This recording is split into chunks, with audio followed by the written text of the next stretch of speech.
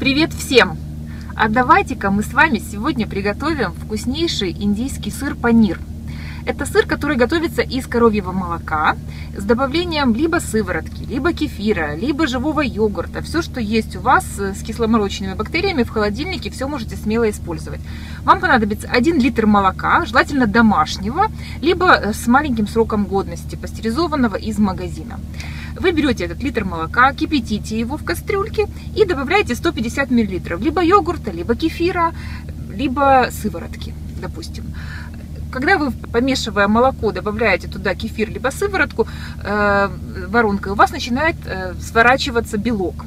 Этот белок, э, после того, как он полностью свернется и отделится сыворотка, нужно переложить в марлечку и положить под пресс. Использовать можно ту же кастрюлю, в которой э, вы сейчас это все кипятили. То есть ту же сыворотку, только добавьте туда еще немножечко воды, чтобы она была потяжелее.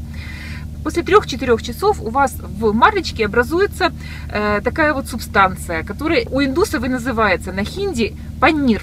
Они его едят э, повсеместно используют различные рецепты. У них есть очень классные рецепты десертов с паниром. Но его можно точно так же использовать, как и любой другой сыр, э, просто на завтрак, либо ребенку в школу с собой дать. Он очень вкусный, полезный, в нем довольно-таки много кальция, он свежий, он относится к молодым сырам, и э, я думаю, что это самый лучший сыр, приготовленный своими руками. Привет, YouTube! Хочешь по-настоящему вкусно готовить? Подписывайся на наш канал, и мы будем готовить вместе.